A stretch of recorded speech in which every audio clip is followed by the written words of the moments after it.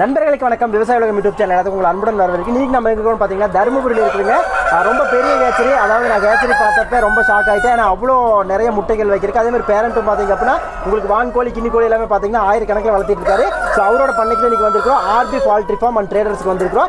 இவங்க என்னென்ன வகையான குஞ்சுகள் எல்லாமே கொடுக்குறாங்க அப்படிங்கிறது பார்க்குறோம். இன்னொரு முக்கியமான விஷயம் என்னன்னு சொல்லி கேட்டிங்கன்னா நூறு குஞ்சுக்கு பத்து குஞ்சு கொடுக்குறாங்க சரிங்களா? ஏன் கொடுக்குறாங்க அப்படின்னா இவங்க கேச்சரி பேரண்ட் எல்லாமே வச்சிருக்கிறங்காட்டிக்கு உங்களுக்கு வந்து அந்த நூறு குஞ்சுக்கு பத்து குஞ்சு அப்படின்னு கொடுக்குது. அதே மாதிரி ஐநூறு குஞ்சுக்கு வந்துட்டு ஐம்பது குஞ்சுகள் அப்படின்னு கொடுக்குறாங்க. இன்னைக்கு அவரோட பண்ணைக்கு வந்திருக்கோம் எப்படி எல்லாமே வளர்த்துறாரு அவருடைய அனுபவங்கள் என்னென்ன அப்படிங்கிற விஷயத்தை எல்லாமே கேட்க போறோம். வாங்க இன்னைக்கு வீடியோக்குள்ள போகலாம். அண்ணா வணக்கம். வணக்கண்ணே என் பேர் அருளுங்க. நான் ஆல்ரெடி இன்ஜினியரிங் முடிச்சிருக்கேங்க. பிஇ மெக்கானிக்கல் முடிச்சு டூ தௌசண்ட் லெவன் பேட்சுங்க அப்படியே ஃபாரினில் ஒர்க் பண்ணியிருந்தேங்க. சிங்கப்பூரில் ஒர்க் பண்ணிட்டு ஒரு ஃபோர் இயர்ஸ் ஒர்க் பண்ணுங்க. கொரோனாவில் எங்கள் ஊருக்கு வந்துட்டாங்க. ஏன் நம்ம திருப்பி மறுபடியும் போக முடியலைங்க? அதனால் என்ன பண்ணலாம்? நம்ம அப்படியே வீட்டில் பண்ணிட்டு இருக்காங்க அப்பா சிம்பிளாக பண்ணிட்டு இருக்காங்க லாஸ்ட் த்ரீ இயர்ஸாக ஃபுல்லாக நான் இதை பண்ணிட்டு இருக்காங்க எல்லா கோழியும் நம்மகிட்ட இருக்குங்க. இது வான்கோழி பேரண்ட்டுங்க இந்த வான்கோழி பேரண்ட் ஆறுநூறு கோழி இருக்குங்க. இந்த வான்கோழி பேரண்ட்டை நாங்கள் எப்படி சொல்கிறோம் கிலோ கணக்குலையும் கொடுத்துட்ருக்காங்க. இப்போ கிறிஸ்மஸ்க்காக கிலோ கணக்கில் கொடுத்துருக்காங்க கிலோ முந்நூறுவாய்க்கு கொடுத்துட்ருக்காங்க. இப்போ மினிமம் ஆர்டர் எப்படின்னா நூறு கிலோ எடுக்கிறவங்களுக்கு பத்து கிலோ இதுலேயும் ஃப்ரீயாக பண்ணி கொடுத்துட்ருக்காங்க. மந்த் ஓல்டாக கொடுத்துருக்கோம். Two month old month old இரநூறுவாய்க்கு கொடுத்துட்ருக்காங்க டூ மந்த் ஓல்டு முந்நூறுவாய்க்கு டெலிவரி பண்ணி கொடுத்துட்ருக்காங்க நம்ம இப்போ ஒரு அறுநூறு கோழி இருக்குங்கன்னா நம்மளுக்கு ஒரு நூற்றி ஐம்பதுலேருந்து இரநூறு முட்டை வராங்க ஒரு நாளைக்கு. அவ்வளோதான் வரும் இது போக என்னென்ன கோழிலாம் வச்சிருக்கீங்க இப்போ வான் கோழி அதை தவிர்த்து என்னென்ன கோழிகள் மட்டும் பேரண்டா வச்சிருக்கீங்க நாட்டுக்கோழி இருக்குங்க. பக்கம் கிரிராஜா இருக்குது கழுத்தர்தான் கோழி இருக்குது வாத்து இருக்குது கினி கோழி இருக்குங்க. எல்லா கோழி பேரண்ட்டாக வச்சுருக்காங்க. எல்லா கோழிங்களா? இப்போ வான் கோழி இருக்கிற சிரமங்கள்னா என்னென்ன வளர்க்க வான்கோழி சிரமன்றது எப்படின்னா இந்த கூலிங் கிளைமேட் இருக்கு இல்லைங்களா? அப்போ மட்டும் பத்திரமா பார்த்துக்க வேண்டியதாக இருக்குங்க. ஒன்று மேலே ஒன்று ஏறுங்க. இப்போ வான்கோழி குஞ்சிலேருந்து பராமரிக்கிறது ரொம்ப கஷ்டங்க. இப்போ ஃபஸ்ட்டு ஒரு பத்து நாளைக்கு தனித்தனி அப்படின்னா பூடிங் போடுவாங்க. பூடிங் மற்ற கோழிக்கெல்லாம் ஈஸியாக பூடிங் பண்ணாங்க. வான்கோழி பொறுத்த வரைக்கும் ஒரு கூடை ஒன்று போட்டு பத்து கோழி இருபது கோழிட்டு ஒரு இருபது நாளைக்கு மூடி வச்சு மெயின்டைன் பண்ணணும் டேமேஜ் வராதுங்க வான்கோழி கினி கோழிக்கு அந்த ஒரு பாதுகாப்பு பண்ணணுங்க. வான் கோழி குஞ்சுகள் தர்றீங்க அப்படின்னா வேக்சின் என்னென்ன வேக்சின் போட்டு தரீங்க அதை வேர்ல்டுக்கு மேரக்ஸ் மட்டும் போட்டு கொடுப்பாங்க. இல்லை ஜெண்டா அடிச்சு கொடுப்பாங்க. மற்றபடி ஒன் மந்த்துக்குன்னும் போது எஃப் ஒன்று ஐபிடி லெசோட்டா அதை போட்டு கொடுத்துருவோம். மூணு வேக்சின் போட்டு கொடுப்போம். அதே டூ மந்த் சிக்ஸ் கேட்குறவங்களுக்கு எக்ஸ்ட்ரா இந்த பவுல் பாக்ஸ் அம்மைக்காக அடிச்சு கொடுத்துருவாங்க. எல்லா தடுப்பு மருந்து கொடுத்துட்டு தான் கொடுப்பாங்க. அதெல்லாம் நம்ம ஃப்ரீயாக மருந்து கொடுத்துட்றாங்க. இந்த வெள்ளை கிளைச்சலுக்கு அம்மைக்கு எக்ஸ்ட்ரா மருந்து ஃப்ரீயாக கொடுத்துட்றாங்க. ராஜா கோழி எவ்வளோ இருக்குதுங்கன்னா எவ்வளோ முட்டை உற்பத்தி ஆகுது அப்படிங்கிற பத்தி சொல்லுங்க. அது ஒரு ரெண்டாயிரம் கோழி பேரண்ட் இருக்குங்கண்ணா. சரிங்களா சேவல் ஒரு நானூறு விடை ஒரு ஆயிரத்தி அறநூறு இருக்குங்க.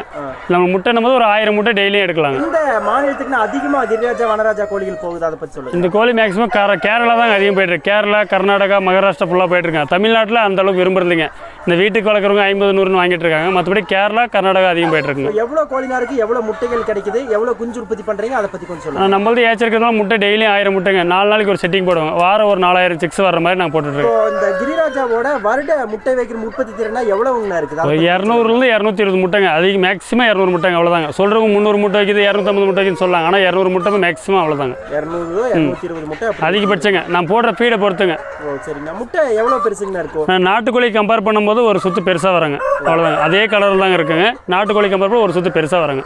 அதே மாதிரி சிக்ஸும் நாட்டுக்கோழி சிக்ஸ் சின்னதாக வராங்க. கிராஜ் சிக்ஸ் பெருசாக வராங்க. நாள் குஞ்சுகளா இதெல்லாம் கொடுத்துட்டு இருக்கீங்கன்னா அதை பத்தி சொல்லுங்க. நாங்கள் ஒரு நாள் சிக்ஸ் கொடுத்துட்ருக்கோங்க. ஒன் வீக் கொடுத்துட்ருக்கோம். Two week one month two month எல்லாமே கொடுத்துட்ருக்கோங்க. ஓ சரிங்கண்ணா. விலை விபரம் எப்படிங்கண்ணா? விலை விவரம் இப்போ நாங்கள் பதினஞ்சு ரூபாயிலிருந்து கொடுத்துருக்கோங்க ஒன் டே சிக்ஸுங்க பதினஞ்சு இருபது அந்த ரேஞ்சு கொடுத்துட்ருக்கேன் மார்க்கெட் ரேட்டு கொடுத்துட்ருக்கோங்க சார் நாங்கள் அதே மாதிரி நூறு சிக்ஸுக்கு பத்து சிக்ஸ் ஃப்ரீயாக பண்ணி கொடுத்துட்ருக்கோங்க. ஏச்சிங் போட்டு கொடுக்குறதுனால நாங்கள் அந்த ஆஃபர் ஒன்று பண்ணி கொடுத்துட்ருக்கோங்க. Maximum one year two year வச்சுட்டு இருப்பாங்க அதே மாதிரி உங்களுக்கு விடன்றது ஒரு ரெண்டரைலேருந்து மூணு கிலோ வருங்க. முட்டை வைக்கிற கோழி. சேவல்னும் போது நாலு டு அஞ்சு கிலோ. உங்களுக்கு சேவல் பார்த்தா தெரியுங்க. கழுத்துறது கேரளா பார்த்து அஞ்சு கிலோ குறைவில்லாமல் வருங்க. நம்ம கிட்ட இந்த கறிக்கு வளர்க்குறவங்க தாராளத்தை வாங்கி வளர்த்தலாம் நீ வைக்கிங்க அடவு உட்காரத்துக்காக கோழி உட்கார இல்லைங்களா? அதுக்காக அந்த ஒரு செட்டப் பண்ணி வச்சிருக்கேன். அது உள்ள போய் உட்கார நாங்கள் முட்டை எடுத்து முட்டை டேமேஜ் ஆகாததுக்காக வச்சிருக்கேங்க. அது உள்ள முட்டை டேமேஜ் ஆகாதுங்க அதுக்காக. ஆமாங்க.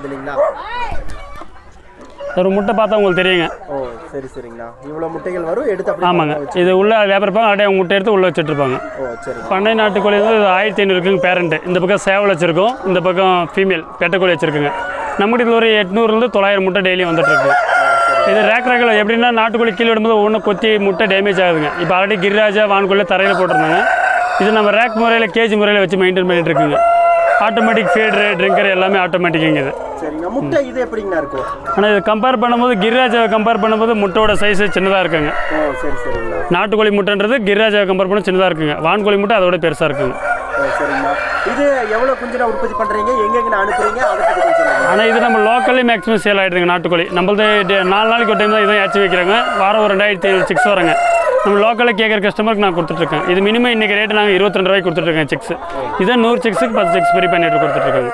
அப்படிங்கிறது எவ்வளவு தீவனங்கள்ல தீருது? இப்போ இவ்வளவு கோழிகளுக்கு? ஆனால் ஒரு கோழிக்கு நாற்பது கிராம் டு ஐம்பது கிராமுங்க ஆவரேஜாங்க நாங்கள் மேக்ஸிமம் பேரண்ட் கோழிக்கு நாங்கள் ஸ்டாக் எப்பயுமே ஃபுல் பண்ணி விட்ருவோங்க அது ஆட்டோமேட்டிக்காக எடுத்துக்கும் தீவனம் குறைச்சா மட்டும்தான் முட்டை குறையும் நம்மளுக்கு. நூறு குஞ்சு உங்ககிட்ட இருந்து வாங்குறாங்க அப்படின்னா அவங்க எப்படி நான் வளர்த்தலாம்? அதை பத்தி ஒரு சிம்பிளா சொல்லுங்க. ஆனால் முதல் முதல் வாங்குறவங்க மேக்ஸிமம் டே ஓல்டு வாங்க வேண்டாங்க. ஏன்னா இந்த climate எல்லாமே வளர்த்து தெரியாமல் டேமேஜ் பண்ணிடுறாங்க.